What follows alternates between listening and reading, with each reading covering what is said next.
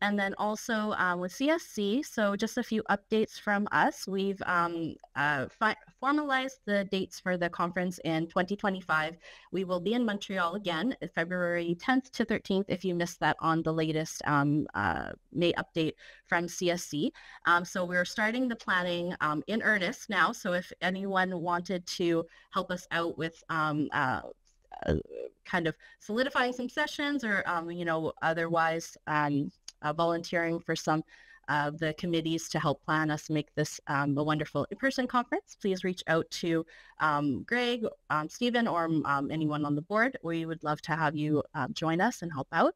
Uh, then the um, next session that we're going to do online, though, is scheduled for June 20th. So if, um, unfortunately, this one, when it went out, it didn't have a calendar invite, but we'll tr- uh, try to do a reminder and an invite for this, for that time um, that will be focused more on um, fall planning and kind of um, updating people on where, where they're at. Um, so as I mentioned, there was a CEI user group session today, and I wanted to do a couple um, updates as well from um, the NACS side, which we um, are if you're also a NACS store member, I just saw in the email that there was um, there NACS Leadership Institute applications will be opening next week. Um, as a previous um, attendee of the NACS Leadership Institute, I would strongly encourage you or your staff to check it out as um, some professional development training because it was really um, instrumental in my um, learning the industry more and making um, connections and things. So um, if you want more information, um, I believe they sent that out this morning, but you can always reach out um, to NACS to learn more about that. And then they, as it was mentioned at the conference, as well as um, recently, they've um, uh, with the campus store standards that's been released by CAS. If you are currently a member, there's a way that you can download the store standards for free. And Brent at CEI also did um, did a session with um, Jeff Nelson. So um, if you'd like to see that recording, that was I think a, um, a couple months ago, you can rent can contact Brent BD at bbd at campusebookstore.com for that recording. And then he was happy to share with you if you want more context of what the standards are and how they came to be. Um, also upcoming, um, the textbook affordability conference is happening in November, and NACS is um, has a has a website to be able to, um, um, I guess, get updates for for that uh, which uh, is something that I'm hoping I can make make work to be able to attend this year. Um, and also NACS University that they offer um, online classes and training and sessions. Um, I'll put that link in the chat as well. If you're currently a NACS member, they have some other sessions that um, uh, you can uh, direct your staff to do on um, store operations and merchandising, which I find, um, you know, sometimes it's good to know that there's other resources available to you. Um, as well, ICBA is holding um, some meetings that are store to store and buyer to buyer. I believe you have to be an ICBA member to attend those, but they sent an email out with the dates of that recently this week. Okay, so um, the focus of today's meeting is sort of to open it up for discussion and uh, um, sort of find out what, what, what stores are currently doing, if there's any changes, and um, uh, updates that we want we want to share with the group or find well, my favorite thing is always sourcing those um, hard to find items. Um, but today we are sort, sort of uh, okay i'll start off with the question. Um, one of the things that we did uh, around this time last year was hold um, sessions with each of the digital um, digital content um, service providers or like you know the vendors that uh, that aren't necessarily the publishers but deal with digital materials. And so one of the questions we were curious about was, is anybody going through a change where they've switched providers or doing pilots with something that, you know, sort of maybe um, would like to update the group on or if, how it's going since we know the players are usually uh, Vital Source, um, uh, Willow Labs, and some other, um, like I think we also invited um, CEI um, at the time Red Shelf, and I think there was another one. I can't remember the name of them, but there there's different providers that offer that. So I like to open it up if anybody would like to jump in and and and um, share a project that they might be working on, or if you have changed providers since we talked about it last year. Ah, Slingshot, that's right. Thanks, Kevin Brown. Go ahead, Sam. Yeah, I'll, I I will share uh, kind of what happened with our attempt at a project since the conference. Um, so at the conference, I met Brecken and Julie from the Willow team. Um, and after the conference, I proceeded to meet with them several times. So, and sorry, I should have mentioned Lakeland College. Um, so we are a probably a small school, I would say, maybe not an extra small category, but definitely small. Um, so we've been using CEI, and we we appreciate Brent and his team. However, we're having some issues with the usability from the student side and accessing the content. So that's where we were hoping to move to Willow. Um, I met with them several times, had several discussions with them, brought in our LMS team, had discussions. Um, we had a contract that had gone up that was being worked on on the Lakeland end. And then they very abruptly ended the process with us um, stating that we weren't a big enough school and we didn't have big enough volume for them to take us on. Um, since then, I've talked to some other small schools and found out there are significantly smaller schools using Willow. Um, so I'm a bit, I would be curious if every, anyone in this group has any insight as to potentially why they would have abruptly stopped that conversation. Kevin? Uh, I actually uh, had a conversation with them too because I'm hoping because I heard so many good things about Willow. So I was I reached out during the conference saying, hey, uh, how can we you know work together? And uh, so I had a meeting with them. Um, they in the meeting they asked me what exactly I'm looking for. So they said no. And uh, until you guys are you know uh, looking into the inclusive course material, we're not really interested. I was like, oh, okay. That was five minutes. That was it. So I actually on the same boat with you. That's interesting, Kevin, because so I so like I said, several meetings, like engaged with multiple stakeholders at Lakeland. I stated up front that we're not doing inclusive access and that it's probably not going to come to Lakeland anytime soon. Um, and it wasn't until that final meeting where they shut it down that they said, if you consider inclusive access, we would reconsider your school but it wasn't like a sure thing. If you do inclusive access, we'll take you on. Melissa? Hi, can you hear me? Mm-hmm. Okay, sorry. Um, so we had a meeting with um, the gentleman from Willow as well. And then they, we said, you know, we were going to go ahead with looking into it. We're still, sorry, I'm from Mohawk College as well.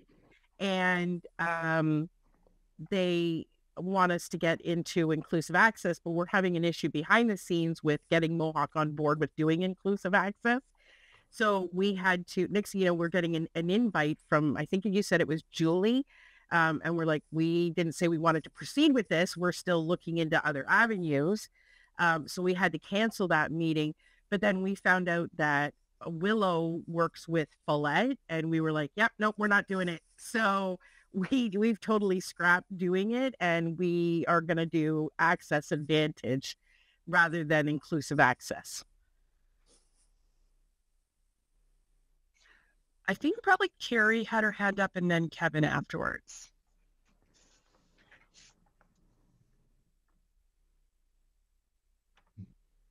Oh, Carrie, we can't hear you. You're on mute. Carrie, I don't.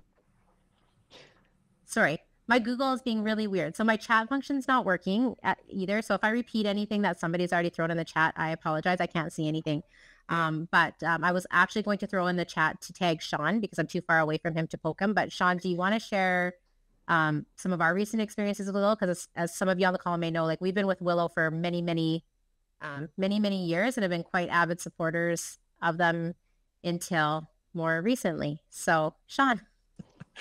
Yeah, um, I actually did just put a quick comment. I, this is working, right? Because my speakers weren't working too. Okay. Um, I did put a comment that, yeah, at the U of L, we don't use an IA. We have a single payer model. Um, it originally was kind of an IA, but I think uh, back, was it latest April, early May, something like that, I had sent out the note that, yeah, um, we don't hear back from them like we used to. We don't seem to get the same kind of contact from them. And you know, the the main thing that I had heard was, you know, there's a lawsuit between Norton not being paid by Willow, so Norton's not su- supporting their materials in our system. Which one of them is actually one of our longest running ones. Our one of our cinema classes has used it since 2014, I want to say. Um, so that created a panic, and then a week and a half later, it was all cleared up. But yeah, some of the so, some of the digging, it was a little strange. Um, Melissa, you mentioned the Follett connection, which is definitely in. Um, it, I was going to say back of our minds, but it's in the front of our minds most of the time now. Um, I'm also finding that the communication is different. We don't seem to hear back the same way. Um, and just recently, we've had a, had them reach out asking to kind of speak to us uh, about opportunities and things like that. We don't know what that is, and they've asked for these weeks. It's not going to work at all.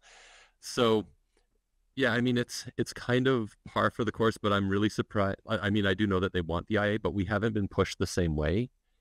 Nevertheless, um, yeah, we we we've had some questions about things that we've been doing with them and you know we're exploring i'm shocked to hear them tell other schools that they don't want to work with them at all that's that was mm-hmm. just bizarre to me because I don't know. I don't know. I don't know, Sam, Kevin. I'm sorry. That's a big red flag to me yeah. too. And and the other thing that was really interesting is um, we found out, of course, from Norton that uh, about the the issues with potentially not being able to have their materials available through our integration for the summer sessions, and then that quickly got resolved. But Willow didn't contact us at all to give us any heads up that this was going on. All the contact we had that we might not be able to distribute in, in our regular way was from directly from Norton.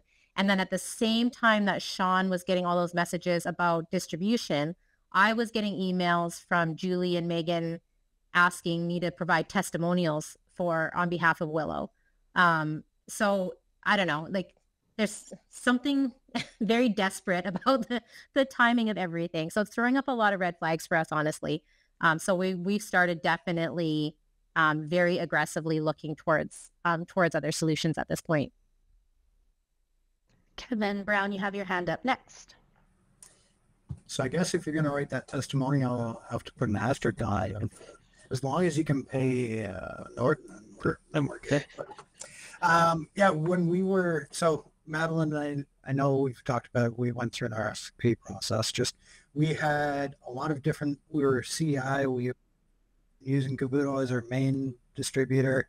Um, VitalSource was our secondary, and we were just wanting to see. We we were at the point where we thought that we'd come as far as what we had gotten. Like my my 2000 Honda Civic that is like last legs and like I increased the value of the car every time I filled up the tank. It was exactly like that. It had gotten, we'd got our use out of it, but we're needing something better. So um, going through the RFP process, it was very interesting because it was, we got to see everyone and what they were doing. And everyone can make things look great for 30 minutes. Like it's, for, for a presentation, but it was very telling um, uh, request for proposals. Uh, so we were putting our primary, sorry, just saw that question in the chat there for what is an RFP. Um, we put a request out for our vendors to, to submit proposals to uh, become our primary vendor. Um, it was very telling because we were looking for a digital solution, but also something that was going to help improve our, our, e-reader experience as well. Um, just we've had a lot of accessibility issues. Um, a lot of students who are uh, having requests come through our accessibility department and looking to service them better. And it was very interesting when Willow was like, "We're we're not we're not an e-reader company. We like we've got a basic e-reader." It was very interesting from that because it was like, yeah, we're we want your business, but we're not changing anything for that. But um, I think Sam, what you're running into is that the IA programs, they have a very high revenue stream for them. You're you're having a if it's a mandatory program or an opt-in, opt-out, you're having 80 to 90 to 100% of your students getting purchases through that. So with their commission rates, I think it's just whether they're seeing that their manpower just isn't there enough that they can, they want to divert it where they can make more money or what have you. Um, yeah, uh, what we had for our RFP process was um, we went in thinking that Will was going to be the leader, and it was VitalSource came to the plate. They have taken over our business as our, our, our primary one. Uh, the full transition is starting in the fall. But a lot of our, our publishers were very interested to, were very happy for us to switch over to VitalSource. Just they've got such a great e-reader. Um, their backend systems are very, very simplified as well. Um, as well as just they are working on that same similar integrations as what Willow has that has the the codeless experience into a pla- into a coursework platform. Um, quick feedback from that right now is that it is just starting out with some publishers in the states. So, for example, Cengage is just starting in the states with the Vital Source. They are wanting to get it out and running. Um, I'm not sure when that's going to come up into Canada, but talking with Cengage Canada, they're, they're working with us to find solutions to to simplify our user experience. So whether it is through the digital solution provider or directly, we're figuring that out. But it's it's been an interesting experience to say the least. Well, Thanks, Kevin. Shannon, you had your hand up. Yeah, so um red flags, you know the guy who runs through the fields with the big red flag? Like that's what I'm seeing in my head right now. If you know, you know. Um uh so I uh, definitely disappointed. We just finished the extraordinary long process of getting them approved to use on campus through IT and security and privacy, all the rest of this we literally last week, uh, the end of last week, just got them integrated with our D2L Brightspace um, LMS, and um, and have just been kind of trying to wait to make sure all of the other integrations work with with Bookware and whatnot. And then yesterday, our um, learning um, teaching and learning center sent a note to Willow and CC'd me and said, "What about this security flaw that's recently been raised?" Um, and it's about I can send this out somehow. It's like I have a PDF. I don't think I can attach them in the chat, but it's about um, uh, it's called the One Ed Tech Advisory on the use of LTI shims for tool integration. So shims, LTI, I don't know what any of this means.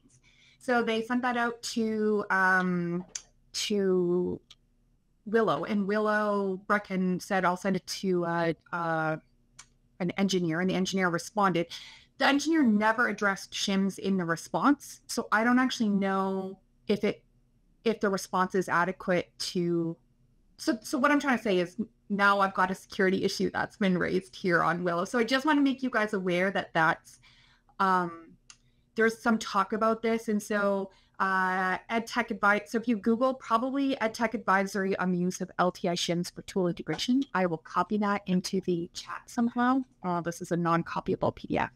Okay, anyways, I will do that in a second. I just want to let you guys know that that's a potential issue. Um, and uh, yeah, I mean, uh, where does this leave us, right? Oh, Brett, thank you, Brent. That's awesome. Easy. So there it is. And um, uh, I think this uh, this whole where they're not don't want to work with small schools like we're fully student pay but i also have 33000 students here right? And and so i can say like this is how we're going to do it and they probably just want to get our business right? Because they know it's a foot in the door but i'm really concerned if that's how they're treating the canadian market our small schools are being oh you're not like it's not worth it for us to deal with you that's a big that's a big issue. But it leads me to think like where does this leave us as an industry um, so CEI, I love their mission, vision, values. I love what they they want to do, and I just unfortunately don't think they're doing it well enough. And you guys have heard me talk about, you know, we just can't continue to have the tech issues and the user experience that we currently have um, with them. Uh, and then, you know, VitalSource. Um, I don't know, are they sort of the only kick at the can? Uh, yeah, Kevin, you're exactly right. They haven't kept up with the market. They haven't kept up with customer expectations um, and how even just in, in user experience, right? UI, UX, and neither is Cavuto. Interesting. I've never used Cavuto. So is, you know, is is VitalSource the only kind of game left in town? Is anyone doing codes through VitalSource access codes? We're only ever done ebooks through them. So I'd love to hear what other people think about like where does this leave us, right, in the Canadian market? And and if it's just CEI, is there, you know, is there a way? How do we support that? Is there what do we do to try to help that get better, kind of thing? So I'll stop talking and rambling now. I don't have a response on how to solve the world's problems, and I'm not sure if anybody else does, but feel free to jump in. Uh, Natalie, you also have your hand up. Yeah, I just wanted to share a bit of my experience as an extra small school, uh, maybe the one of the smallest. Um, and uh, so we have used Willow so far, um, and uh, I haven't heard anything from them, any indication that we're too small or we need to start moving to IA or anything. Um, so they haven't expressed that at all. Um, and then, uh, sorry, one one moment. Um, and then, uh, so I've been moving to Vital Source. Um, I tested it out this spring. I didn't tell Willow, as far as they know, we are still using them. Um, but there was one, I've had some issues of different books that I don't have distribution rights to. Um, and they, especially because we're so small, it's very difficult to get that access. Um, and so there was one title I actually, like they, uh, it's a new Pearson book, a new edition, and I couldn't get it from Vital Source at all. So I, I went back to Willow for that. Um, but yeah, it's mostly the distribution rights that has been very difficult um, with Vital Source, but otherwise, so it's kind of rock and a hard place. They're they're equally causing issues for me, but um, so far, I'm Vital Source is a bit more promising.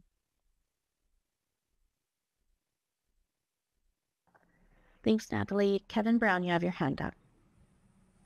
Sure. Uh, I was just gonna say, like, I, it, I, it's a common theme from what I'm hearing from people here. Is just when you're not happy where you're at, uh, and it's exactly where we were.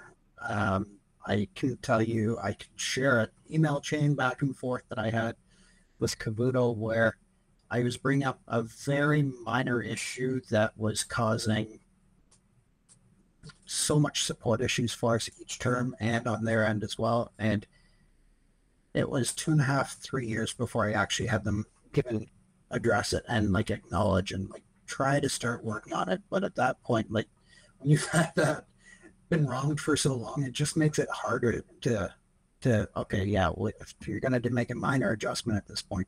Um, so at that point, that's when we started that RFP process. So it was just a nice look. We we can change. We don't necessarily need to, but let's see what else is out there. So that it, it's really inviting everyone else to show you what's there. It was very eye opening because we could see what else was there. We were already working secondary with Vital Source at that point, but it was very interesting to see what capabilities were out there. And it just opened us up to, oh, we don't have to struggle with that again. Um, like distribution rights, I found with publishers, a lot of them are just, uh, maybe it's just for our inclusive access program, but they have been very willing to work with us no matter which public or which provider we're with. It's really, yeah, we, we want to get you the books. We want to get the money in our, our bank accounts as well. So um, they just let us know where you want it. And we'll put it there. So it's been very helpful that way. Um, but yeah, I know that sometimes some of the some of the smaller publishers will balk at commission rights and stuff like that from a Vital Source or a willow or something like that. It, it can make it a little bit more of a challenge, especially in the student pay side. So it might be, I'm not saying go IA, but it's it, it has definitely helped with it gave us a bit more leverage with the publishers as well. Thanks, Kevin. Stephanie, you have your hand up. Yeah. Um, so at Western, we use CEI, and we're just in the process of adding on Vital Source right now. So one thing I've been um, thinking about and need to figure out with Vital Source is once I get the invoice, how to compare it to make sure the invoice is accurate. Um, just with CEI, we always compare our invoices from the publisher to our campus ebook store download, um, and one vendor does overbill us every month. So we have to be pretty um, careful with that. Um, with Vital Source, I think they bill on behalf of all of the publishers. So I'm thinking I'll just run a, a sales report from from Bookware and compare it to our invoice. But if anybody has any kind of tips on that, um, I would be interested to hear about it. Thank you. Great. Um, Sean Bell, your hand's up.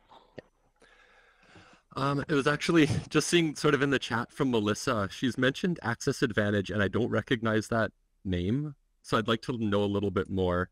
Uh, but just before I call her in, I just also wanted to mention uh, the reluctance with IAEA.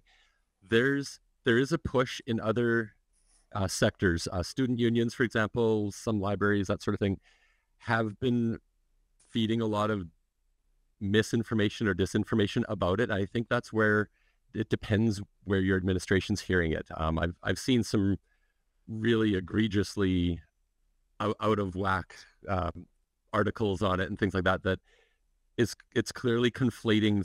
In the one I saw, it was actually conflating leasing situations with Follett and Barnes and Noble to an IA program, which no, th- th- those two aren't related, but they were turning it into some sort of the bookstore is going to make massive bank off of it, and the students will sell.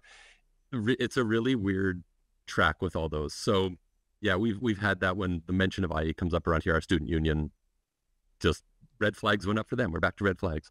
Um, okay, and then back to my first question. If Melissa, if you can explain a little bit on what is access advantage, I don't recognize that one.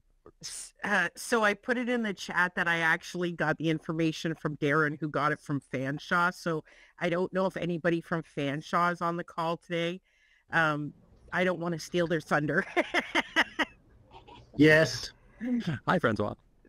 Can you hear me? Yeah. So this is CEI. Uh, it's Brent Beatty that calls it uh, access advantage, and uh, it's a uh, it's a opt-in system. So it's similar to the permalinks that they have. It's a bit better, but it's embedded in the in your learning management system, and uh, students can buy it straight from from the LMS. There was supposed to be some uh, 14 days, 14 day free access. We're, we're just doing it for the first time this spring, so we're just starting. We have about uh, eight titles but uh, we managed to get better prices from Pearson. Uh, Cengage didn't want to budge on it, but we got a better price pricing, better discount.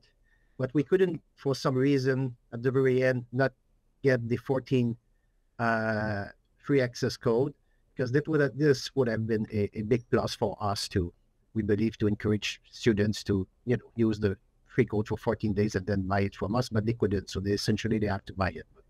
That's what it is in a nutshell. And if you need more information, you can contact Brent Beatty at CEI. It's a fairly simple system. So. Thank you, Francois. Shannon, you have your hand up again.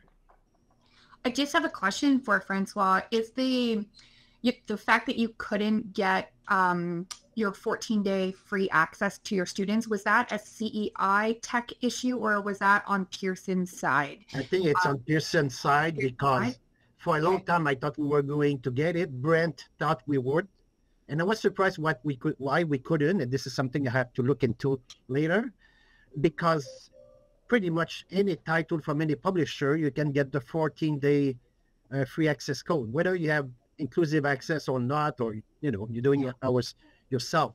So I just couldn't believe why we couldn't get it. So this is something I have to look at because this got set up fairly late uh, in April, so we just had to get on with it. And uh, but yeah, I was I was frustrated about it. I'll be honest. Yeah.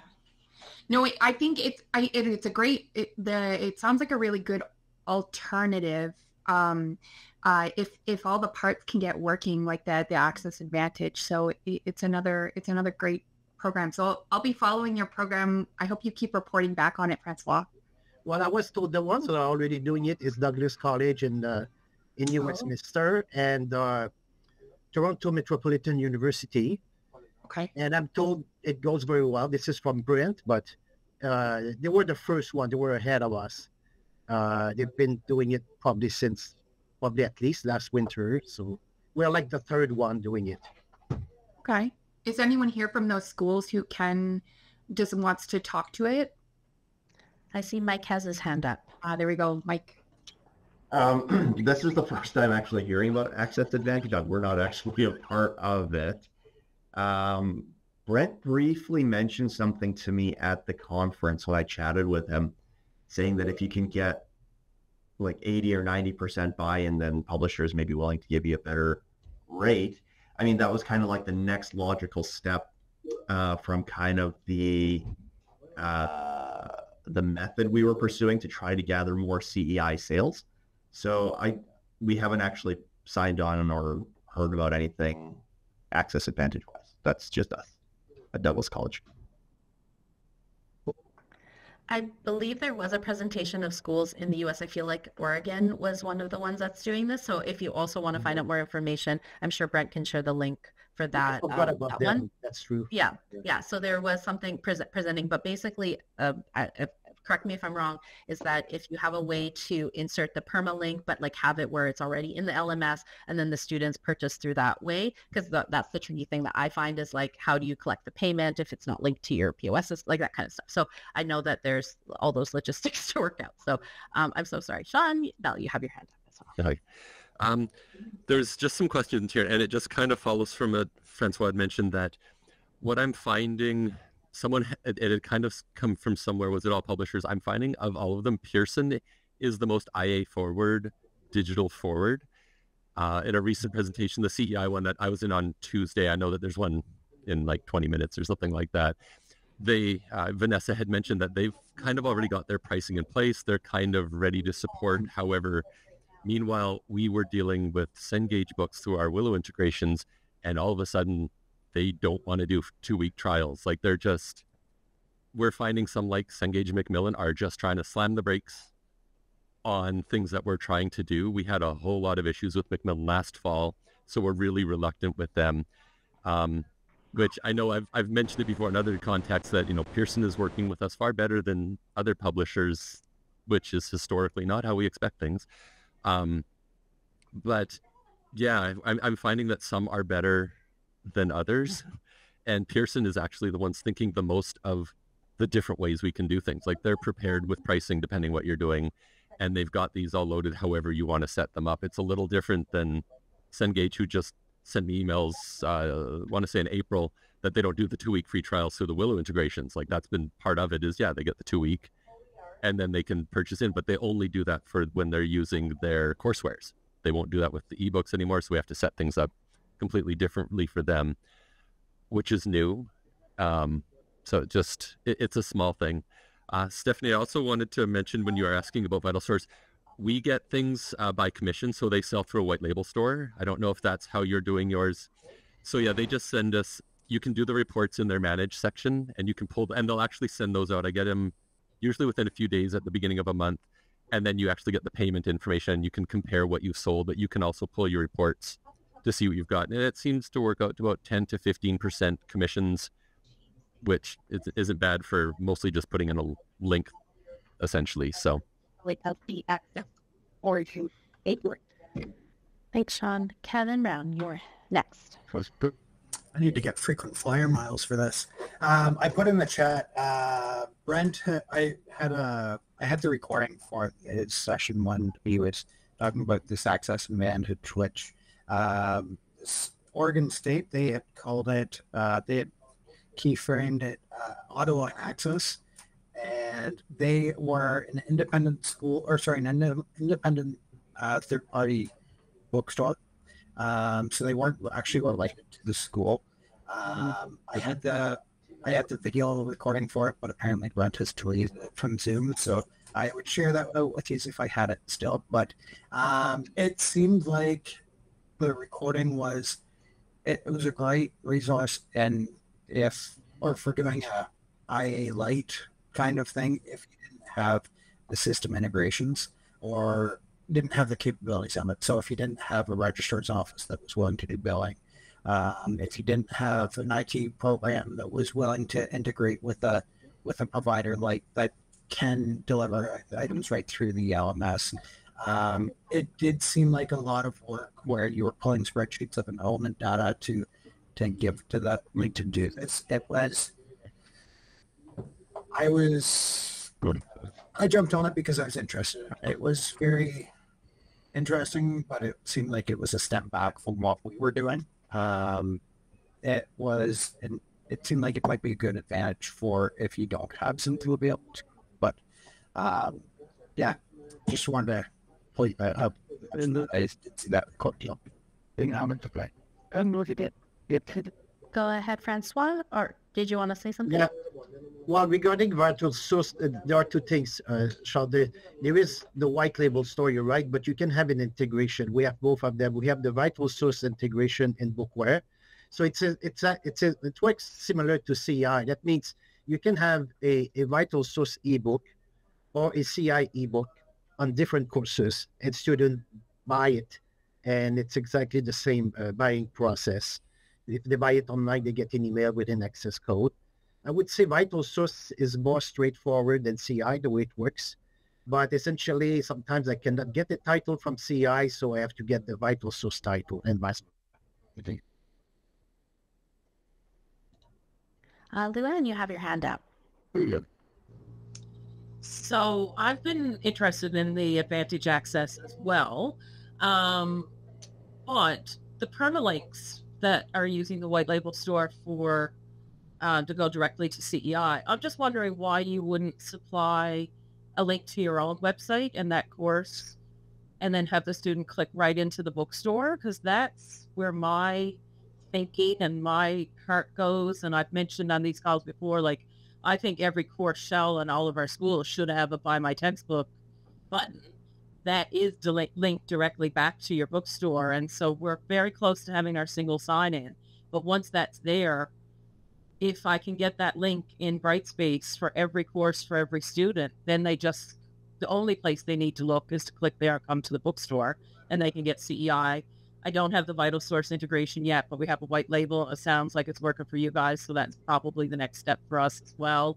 Um, yeah. So does anybody have an answer to that? Like, why are they pushing the the early access to be just the permalinks directly through CEI? Was that to facilitate better pricing with the publishers? If it's more of a consolidated CEI is buying this much every month, I wonder. Um, and it is interesting for me to hear. Sorry, there's a heater behind me that's so loud. I feel like I'm shouting, and I apologize if it comes through that way for you guys. Um, the two week free trials. I mean, our school was doing those for all first year sciences for about 10 years now um, through Pearson. So I need to reach out and find out if they're still doing those on a course by course basis or as a company if they've given them up because I thought that was the perfect. The link would be there to buy it from the bookstore and they would have their free trial. So they only had to buy it once they were settled in the course. So interesting. Thank you, everybody who's contributing.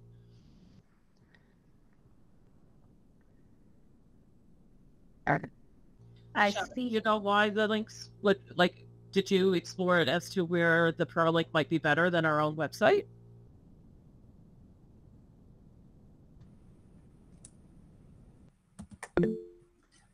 Well, and I think what I think what you're going to see is that um, a lot of the talk was having it in the LMS would have it so that it's right in front of where the class is actually operating. So um, it also helps you isolate it so that um, if they were using a MyLab link or a Connect link where they're it's also for sale there, it's at least keeping it internally. So you're you're having the sales rather than trying to compete with everywhere else. So whether it's Amazon or the publishers directly, you're at least still capturing it that way through the LMS then. Go ahead, Francois. Well, uh, Luann, uh, our original strategy and that's why we thought it would be better with uh, access advantages. Students would have access on day one of the free trial. And then at the end, near the end of the free trial, they would start getting emails, a bit like an inclusive access or whatever. And okay, now it's time to buy your access code or you'll lose access to it. And then they can click here and buy it. Without, uh, before uh, access advantages, you could put the permalink, it's in there, and students buy it if they want or not. That was it. So the, that's why the free trial was such a big deal to me. It's basically you give 100% of the students have access on day one, so they're already using it, and then at the by the end of the second week they start buying it, which was better. We didn't get that first part.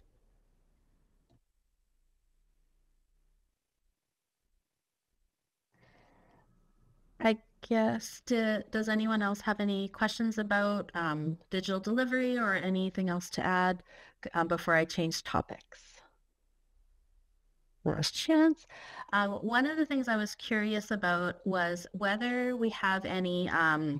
Uh, so sometimes it, it's funny, like you know, we we get together, we we chat about things, and we realize that hey, um, some stores are experiencing the same issues across Canada, but we never talk about this. So are there any vendors that we're having trouble with, either publishers or um, merchandise vendors that maybe if there's um, some issues that we need to, to raise as part of CSC to, um, to bring that to the vendor, um, not as a this is bad, but just any any concerns that we have, just because I know that sometimes after the show, um, like you know, we've ordered things and some things are not as expected, and so I just wanted to open up the floor if there's any concerns that anyone wants to raise, um, because I found out one, but I'm not going to name names, so then I'm just I'm just going to let that.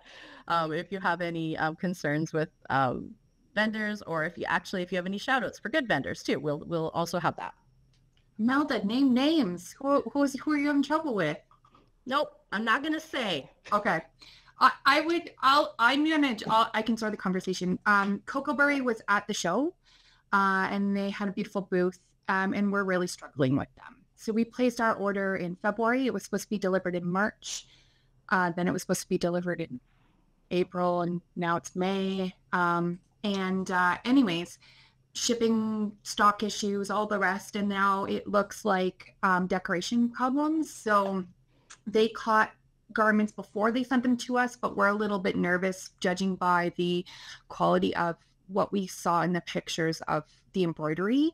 So we're hoping that the garments are okay and they caught the only bad ones, right? We still haven't seen them, even though we were supposed to have by now. Um, and our hope is if the garments are good and they sell okay, we'll just buy them blank and decorate them locally because um, we have a great relationship with an embroiderer, embroiderer here locally. But um, they've been weird to deal with. And we're not sure if it's just because they aren't used to dealing with our market and maybe when they deal with like clothing vendors, it's different. But um, yeah, so yeah. Um, anyways, so Sam said, yeah, that's why she hesitated. We had we placed a pretty small first order. We wanted to see how they would do, and and we'll still get the chance to do that. I'm really really hopeful that the, I mean, the garments were gorgeous at the show. So let's see how they do in the store. So that's my my feedback.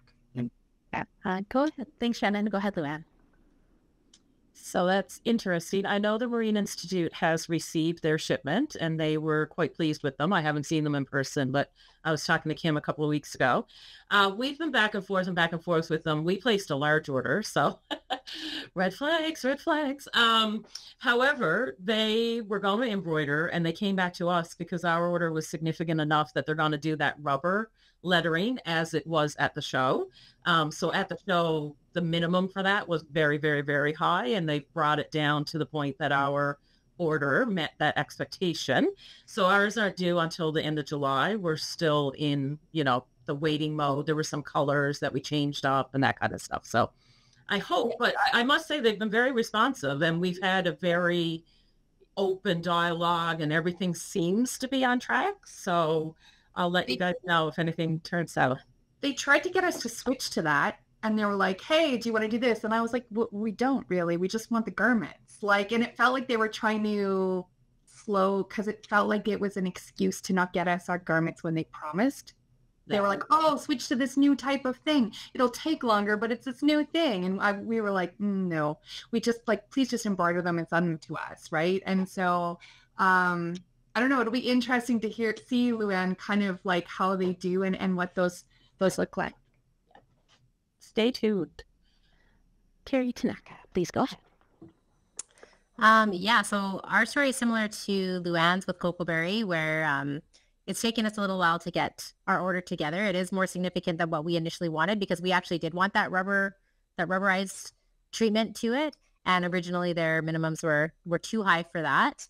Um, but n- now apparently they found a Canadian vendor that can do that same treatment. So they've lowered their minimums.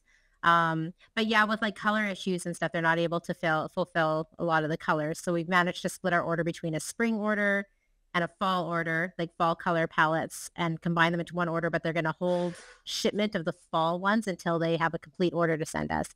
Um, we haven't received our spring order yet, but that's um, that's not on them. That's a, that was a lot of back and forth on us and us being like very particular about what we wanted. They have been very responsive. I'm I think we're getting the feeling that they were a bit overwhelmed by the response that they got from that show, um, which is good. I think that's a good problem to have, and I think that's a good um, a good sign for Campus Stores Canada that a new vendor came in and is maybe feeling a little bit overwhelmed by the or the the quantity of orders that they've received. So I'm still hopeful that they'll be able to to work things out. Um, interesting, Shannon, that you said that they're having difficulty with the embroidery because when we initially when they initially told us we needed a bigger minimum to get the rubberized printing, we said, okay, that's okay. We'll just switch to embroidery. And then they said, oh no, we don't do embroidery. so we're like, oh, so that makes sense. Maybe they maybe they couldn't do embroidery well enough to want to continue with that. So so that's why they um they were really working with us to get the rubberized print that we originally wanted anyway. Um so yeah, like I said, I'm still holding out hope that uh, that they'll be able to deliver, but I'll let you know. We're expecting hopefully our order to arrive within the next uh, couple of days here. So we can certainly report back on the quality. Um, I would love to give a big shout out. We just did a rush order with, um, well, it wasn't really a rush order. We asked if he could turn an order around for us really quickly with Niagara River um, Trading Company. Um, and they delivered. Like they, they turned it around for us really quickly. Their product looks beautiful. It feels beautiful. Um, the only caution that I would give if anybody's looking at um, at ordering from them, if you haven't already, is all the pictures that we took at the show. Um, where his booth was located must have been under a very like particularly yellow light um, because we wanted an an exact replica of something that he had at the show, which in all of our photos and in our memories looked like a powder blue hoodie with a, a blue and kind of buttery yellow treatment on it. Um, that actually doesn't exist. It's actually more of a of an indigo blue with a with a blue and white treatment on it. There's no butter yellow did not exist in the original at all. Sean, we can't see it because oh, there Sean's holding it up in his picture. So um, they really easy to work with, really quick turnaround, really really good pricing, um, especially for and really good shipping rates, especially for those of us out uh, out west. Um, so give I'll, i want to give a shout out to him because he was one of the the little guys um, at the show. Um, and we did place an order with Lego as well that we haven't received quite yet, but uh, but we'll report back on them too because they were another new vendor um, that we were dealing with. Wonderful. Thanks, Carrie. And uh, Luann, your hand is up. Sorry, guys, for all the talking today, but I'm going to pop um, I don't know. You've probably all got this, but you've heard me gripe about Ingram so many times. Uh, but it looks like we have a new Canadian representative. So I hope um, the relationship will be strengthened and maybe they'll be able to help us more with some of the challenges I know we have um, in ordering and getting stuff shipped properly to our location. So that's there. I don't know if any of the links, I can probably find the actual email addresses if somebody wants to reach out to me. Um, but I also, I know I'm conscious of the time and I don't know how many people are on this call. I actually have some sad news to share. I've been two days kind of reeling. I know Carrie was in St. John's in 2014 when we hosted the textbook uh, conference for CSC. I think it was the last textbook conference we ever had before things amalgamated. And I don't know how many others were on the call, but we had a very special guest speaker, Dr. Robert Shea, and his presentation and keynote was talked about in CSC for years later. On education committees, people would say, we need a guest speaker like Dr. Shea. And he was so appreciated and so engaged. And unfortunately, he passed away suddenly yesterday, and we're all completely heartbroken. Um, I will send Greg a message because Greg and I have had many conversations about him over the years and just how well he was received. So we're all a little sad down here these days, but I don't know if Carrie, if you remember him in the presentation here at MUN or if there's anybody else, but um, he, he had gone on to become the vice president of the Marine Institute as well and had an impact on so many lives. And he always appreciated the bookstore. How many VPs come to the bookstore and give you a hug, right? That, that was, that was Rob. So we're going to miss him dearly. I do remember his keynote, Luann, and he was so supportive at a time when we really needed to hear that higher level support of all of us. So I'm so sorry for for you and your campus community. That's terrible.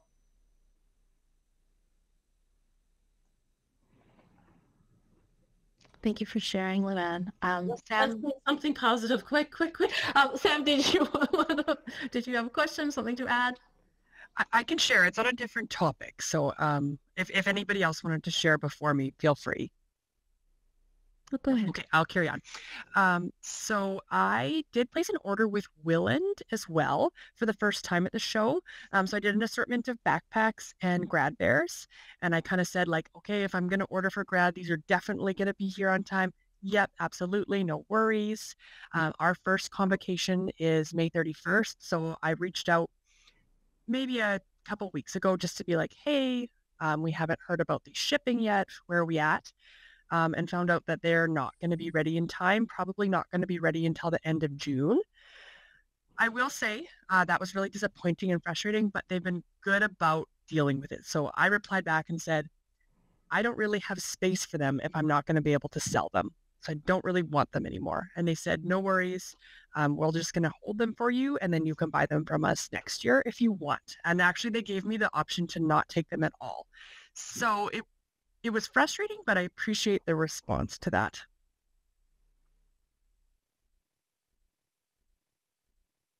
Thanks for sharing. Go ahead, Stephanie. Um, I'll just share a new vendor that we're looking at. We haven't really brought them in yet, but Hype and Vice is uh, one out of the states, and their um, product is very fashionable. So um, we've been excited to have a look at them. Great. Um, I'm just gonna. Oh, sh- go ahead, Sean. Sorry. Um, Stephanie, we had looked at Hype and Vice. How did you find the uh, coming around, getting across the border and stuff like that, charges and stuff like that? Because that was that was one of our big flags for when we get stuff like that from the U.S. Um, I we haven't actually brought them in yet, so I'm not sure if I'm not exactly sure about that. But uh, yeah, I could I could check with our buyers and let, let you know. Okay, yeah, because that that was that was probably our biggest hesitation with those is knowing what it can be like to get clothing across the border.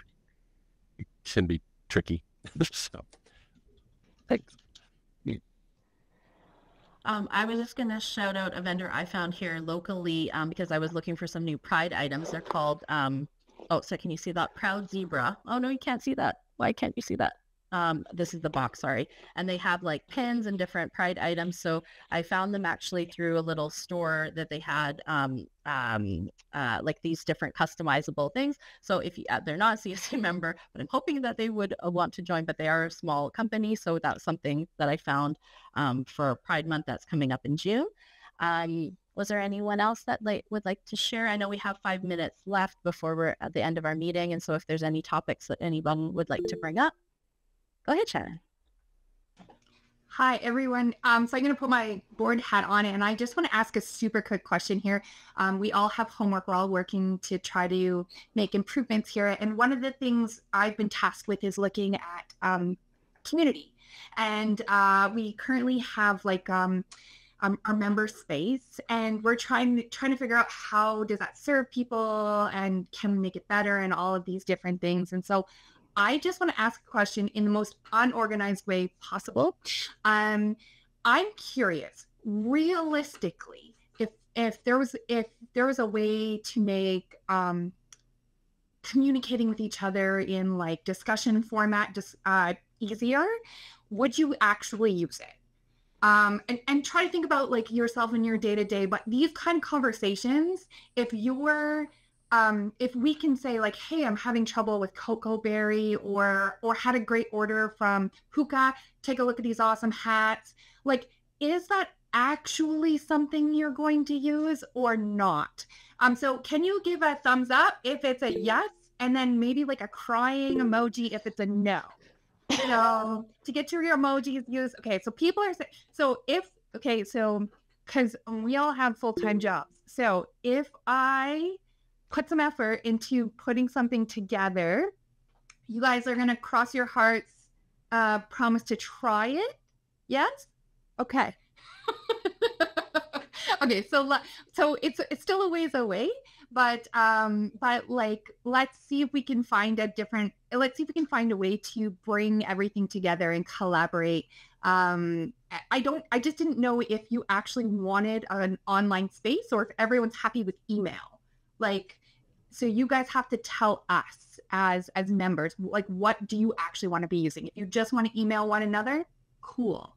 If you want to have ways to communicate in more of a sort of um, like a group sort of setting, that we can also we can also make that that happen and so we kind of have that in google now but i know some people feel like it's pretty disjointed and hard to navigate so we're just trying to see what the options are and i we don't want to put in too much effort if everyone's like meh i don't need it. Cool. Yeah? Okay awesome. Well we'll see what's possible. No promises but uh yeah go forward from there.